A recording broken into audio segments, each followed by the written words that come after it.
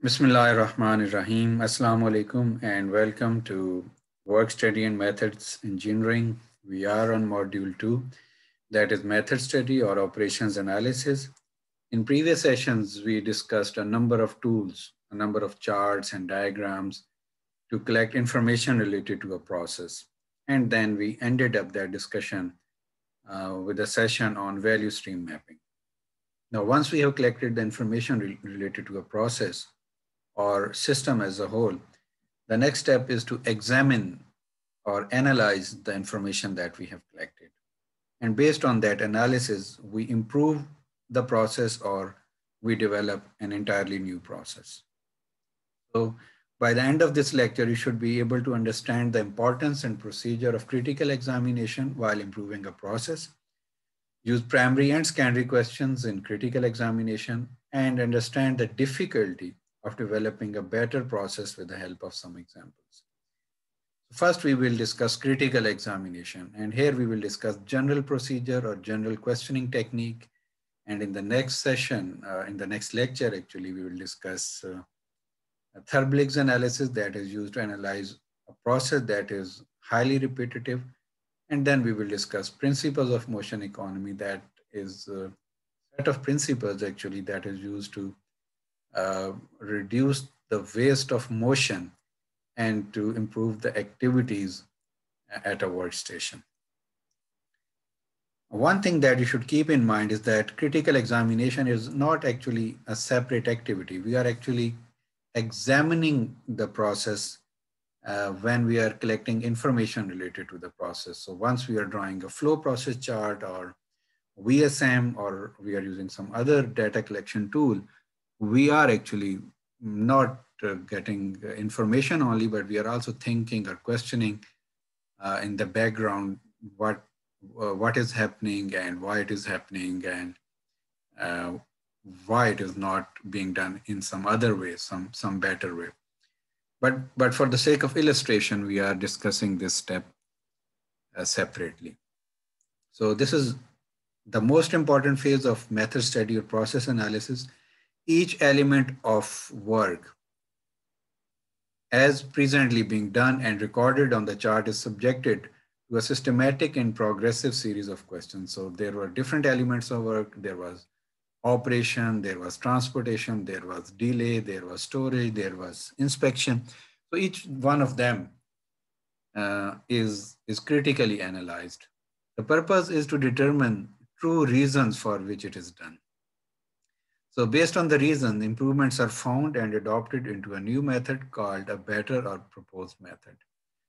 So this step, critical analysis, requires exhaustive collaboration with everyone whose contribution can prove useful. So this is not a solo flight.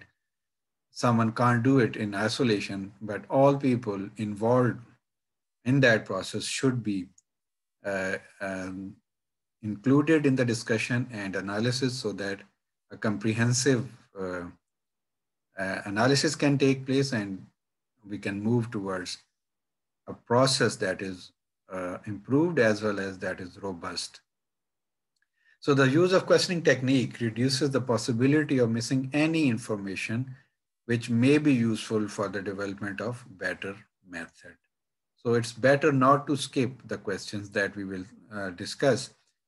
Uh, they, they seem very simple, but if we skip uh, any of those questions, we may skip some important aspect of, of the process. So it is very important that we move in a systematic way and don't make decisions in a hurry.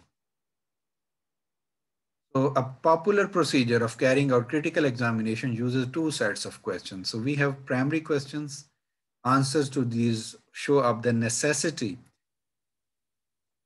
of carrying out the activity. And then we have secondary questions. Answer to these questions allow considerations for alternate methods of doing the activity.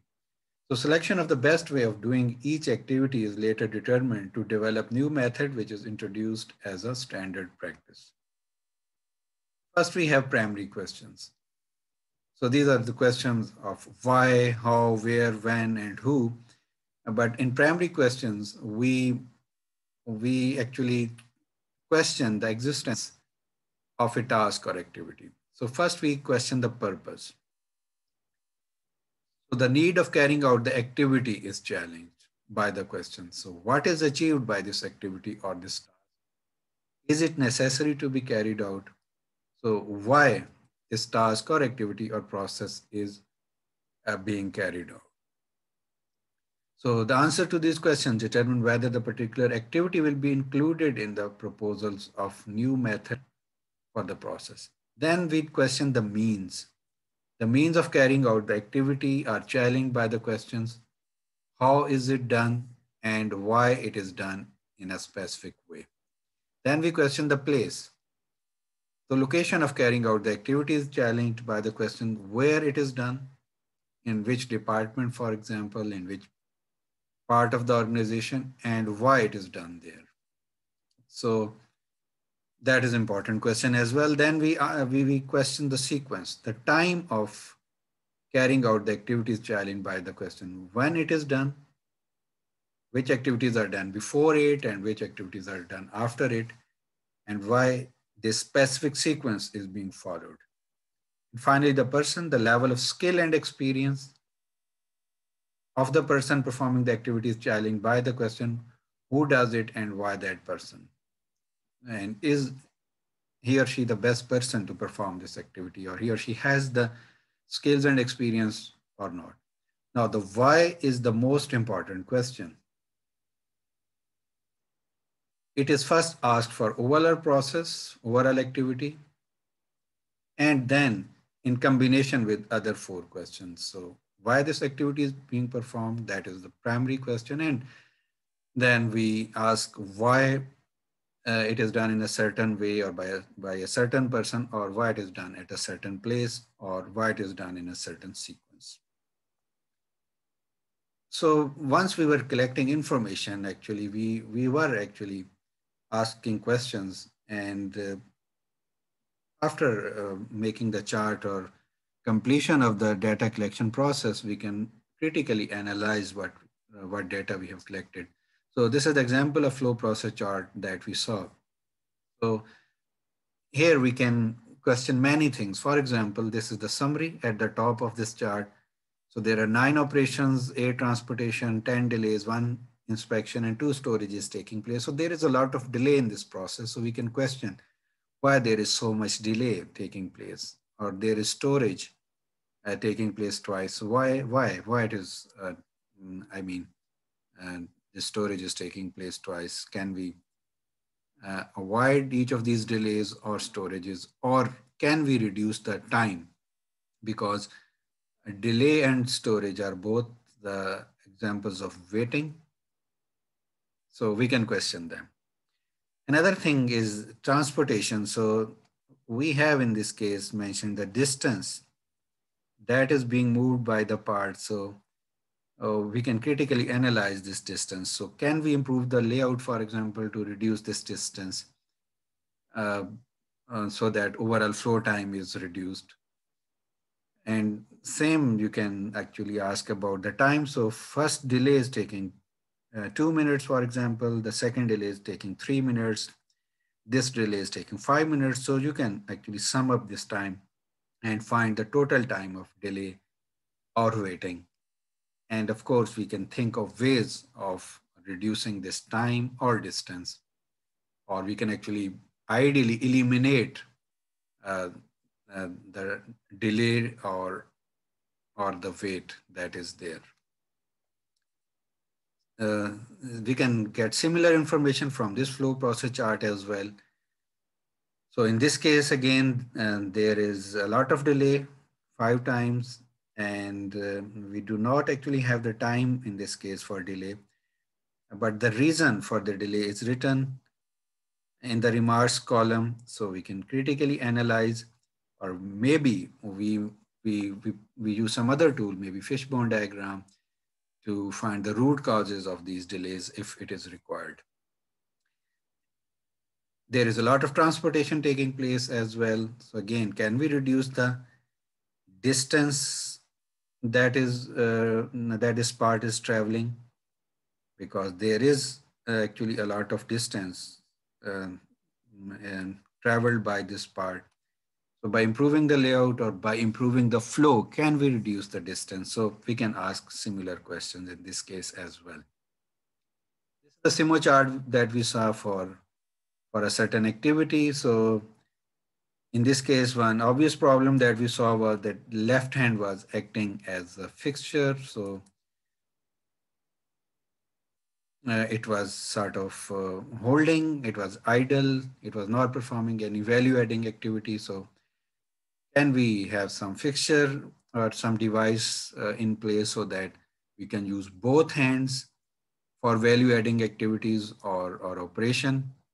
So that is one of the principle of motion economy as well, that both hands should be performing value adding activities. They should not be idle or they should not be holding the workpiece. There is some wait as well. So we can uh, have a look at these wait or hold activities, or we can actually analyze the layout of the workstation as well and see if you can improve it. And we saw the VSM in the previous session. So one obvious question that we asked was a lot of work in process inventory between the processes. So there was uh, a lot of wait, of course, of the work in process uh, uh, inventory, and there was a lot of Mura, obviously, as well, because um, the working process was varying a lot between processes as well as there was a lot of difference of cycle time as well. So the system was not balanced at all. So we can, of course, uh, critically analyze this current VSM and move towards uh, future state VSM using different, uh, different tools of of lean manufacturing. So the basic point I wanted to make here was that each chart or each diagram does provide us some useful information and we can uh, brainstorm that, we can use some other tools to get insight from that information and move towards improving our system. These were just examples of few of the charts, but of course, all charts and diagrams do provide us some some critical information related to the process that we can use for its improvement. Then we ask some secondary questions. So here we are basically focusing on suitable alternatives. So the questions basically are the same. I mean, we are again asking questions related to the, to the purpose, related to the means, related to the place, sequence, and the person. But uh, we here are looking for for the alternates. So with respect to purpose, we asked the question, is the activity necessary? If the answer to this question was yes, then we can ask what else can we do in replacement of this activity if, if there is a simpler step and easier task that can replace this task or activity. Then we question the means.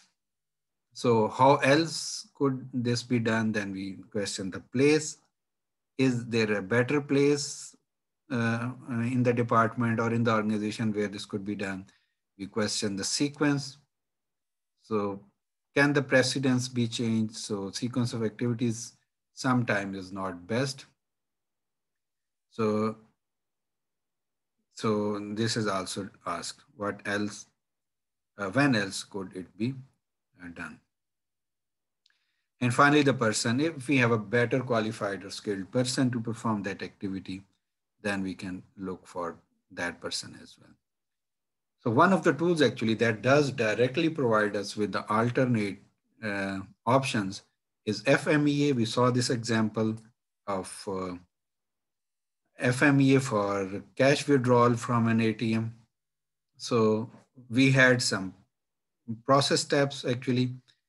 Uh, that actually uh, were performed and the potential failure mode uh, that could uh, uh, actually cause problem for these steps. These steps couldn't be performed properly. And for each of the failure mode, we discussed the severity, probability of occurrence, and probability of detection and RPN.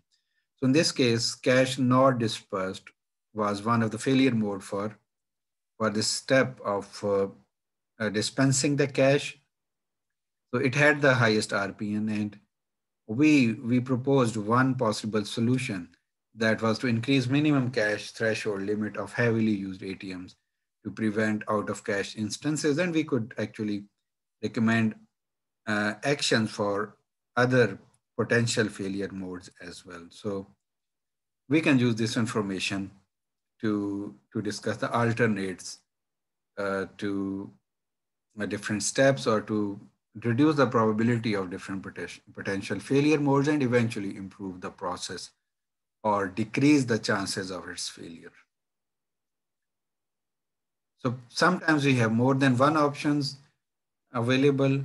Uh, we can have more than one alternates available to a process. So we have to consider economic, safety, work quality, and human factors uh, to, to decide between the alternates. So we will discuss one example in the uh, one of the following sessions to see uh, how actually we progressively move from uh, better to even better solutions and uh, how different factors actually are considered in selecting among the alternates. So as a list, you can have these four factors, economic, safety, quality, and human factors. This is a summary of the questions that uh, we discussed. So we asked questions related to present facts, related to the purpose, means, place, sequence, and person. and then uh, we asked same questions, but for alternates. And then we might have a list of alternates.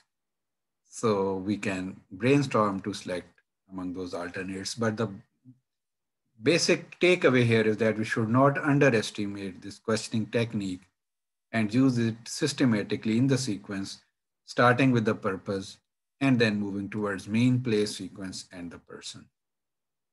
And uh, secondly, all relevant stakeholders should be involved in this critical analysis.